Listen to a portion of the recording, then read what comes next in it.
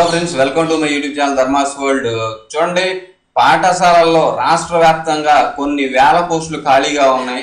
మనకి డిఎస్సి మరి తీసి రెండు వేల పదిహేడులో తీసిన డిఎస్సి ఇంతవరకు కంప్లీట్ కాగా టీచర్లంతా కూడా కాబోయే టీచర్లంతా కూడా డిఎస్సి అభ్యర్థులంతా కూడా ఆ పోస్టులు భర్తీ చేయమని చెప్పేసి ఇప్పటికే మేము వెయిట్ చేస్తూ ఉన్నాము. చాలా లేట్ అయింది. ఇప్పటికే మా పోస్టులు భర్తీ చేయండి అని చెప్పేసి వాళ్ళు ధర్నాలు నిరసన కార్యక్రమాలు చేయడం విన్నపాలు సమర్పించడం వినతులు ఇవ్వటం ఇలా సరిపోతుంది తప్ప మరి బోధన టీచర్లు కొరత విపరీతంగా ఉంది. స్కూళ్ళలో టీచింగ్ అనేది జరగట్లేదు. మరి ఆ విద్యార్థులు నష్టపోతున్నారన్న విషయం మరి ఎందుకు ఆలోచించట్లేదో మరి ఆఫీషియల్స్ అర్థం కావట్లేదు. బోధన అరకొరగా జరుగుతుందని చెప్పేసి సబ్జెక్ట్ టీచర్ల కొరత తీవ్ర స్థాయిలో ఉందని చెప్పేసి కొన్ని స్కూళ్ళల్లో అయితే మూడు నుంచి నాలుగు సబ్జెక్టులకు టీచర్లే లేరని చెప్పేసి తెలుస్తూ ఉంది. మరి అంతమంది టీచర్లు లేకపోతే అక్కడ బోధన ఏం జరుగుద్ది? మరి టీచర్ మరి స్టూడెంట్స్కి న్యాయం ఏం జరుగుద్ది? అవసరం లేని చోట ఉపాధ్యాయులు ఎక్కువ మంది ఉండటం ఆ కొన్ని చోట్ల టీచర్లే లేకపోవడం మరి రిటైర్మెంట్లు జరిగితే ఖాళీలు పూర్తి చేయకపోవడం డెత్ ఖాళీలు భర్తీ చేయకపోవడం ఇక క్యాలెండర్ ప్రకారం నియామకాలు జరగకపోవడం ఇన్ని లోపాలు మరి కనిపిస్తా ఉన్నాయి. కొన్ని టీచర్ కొన్ని స్కూల్స్లో అయితే మూడు వందల నుంచి నాలుగు వందల వరకు టీచర్లు స్టూడెంట్స్ ఉన్నా కానీ అక్కడ ఇద్దరు ముగ్గురు టీచర్లు మాత్రమే మాత్రమే ఉండటం మరి మిగిలిన సబ్జెక్టులు టీచర్ లేకపోవడం అలాగే మరికొన్ని టీచర్ అయ్యి ఇక చూడండి రాష్ట్ర వ్యాప్తంగా వందలాది హై స్కూళ్ళలో ఇదే పరిస్థితి కొనసాగుతుంది. రెండు వేల పంతొమ్మిది ఇరవై విద్యా సంవత్సరం ప్రారంభమై డెబ్బై రోజులు పూర్తయినా కానీ వందలాది హై స్కూల్లో సబ్జెక్ట్ టీచర్లు లేకుండా ఉన్నారని తెలుస్తా ఉంది. ఉపాధ్యాయులకు నెలవారీ పదవంతులు కల్పించకపోవడం బదిలీలు లేకపోవడం రిటైర్మెంట్ అయినా మరణించిన టీచర్ల ఖాళీలు భర్తీ చేయకపోవడం క్యాలెండర్ ప్రకారం డిఎస్సి రిక్రూట్మెంట్ క్యాలెండర్ ప్రకారం డిఎస్సి రిక్రూట్మెంట్ పూర్తి చేయకపోవడం వల్ల సబ్జెక్టు టీచర్లు లేకుండానే విద్యార్థులు అరకొర సరిపెట్టుకోవాల్సిన పరిస్థితి మరి ఏర్పడింది. గత నాలుగేళ్ళుగా గ- రాష్ట్రంలో వందలాది ప్రాథమిక ఉన్నత పాఠశాలను ఉన్నత పాఠశాలకు అప్గ్రేడ్ చేశారు. కానీ ఇంతవరకు ఆయా పాఠశాలకు అవసరమైన పోస్టుల మంజూరు మాత్రం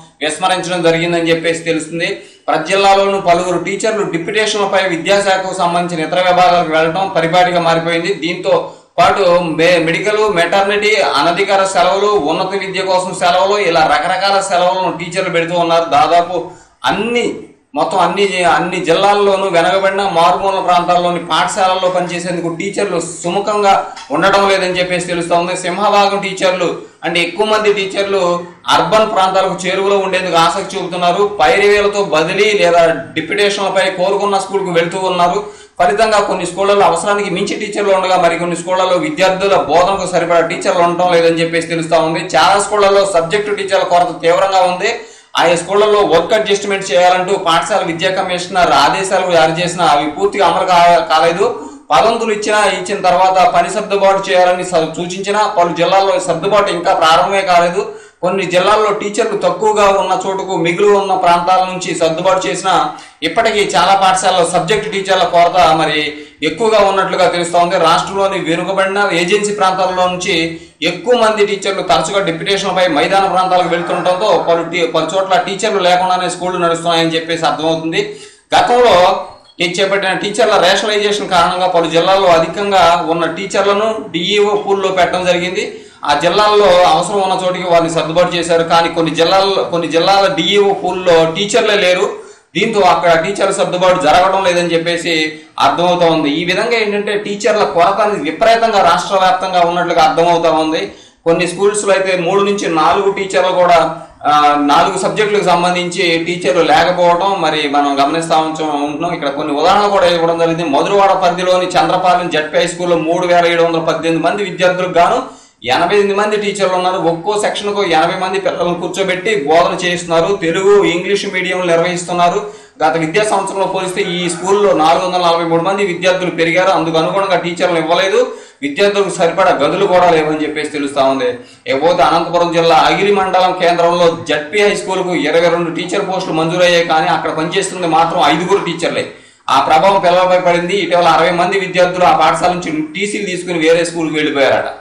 ఇకపోతే సిఎస్ పురం మండలం ప్రకాశం జిల్లా అంబవరం జడ్పీ హై స్కూల్లో మూడు వందల ఇరవై మంది విద్యార్థులు ఉన్నారు ఏడుగురు సబ్జెక్టు టీచర్లు అవసరం కాగా మరి ముగ్గురు మాత్రమే పనిచేస్తున్నారు. తెలుగు ఆంగ్లం సామాజిక శాస్త్రం గణిత సబ్జెక్టులకు సంబంధించి టీచర్లు కూడా లేరని చెప్పేసి అర్థమైపోతుంది.